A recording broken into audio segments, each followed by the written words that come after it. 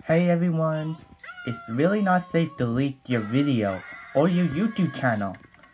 It's really not fun. Everybody wants to watch your videos. If everyone sees you delete your videos, they don't like it.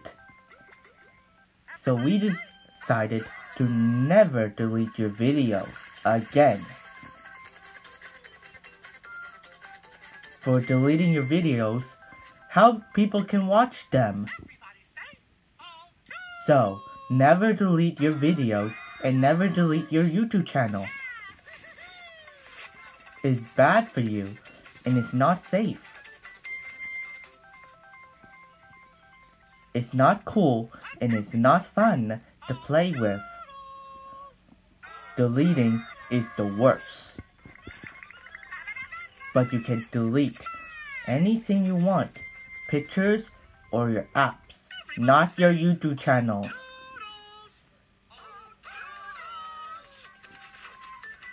But your videos are special for you, and people want watch, people want to watch them, and they're gonna be like it.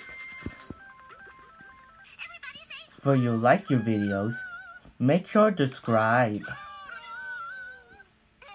Also, Never delete your videos again.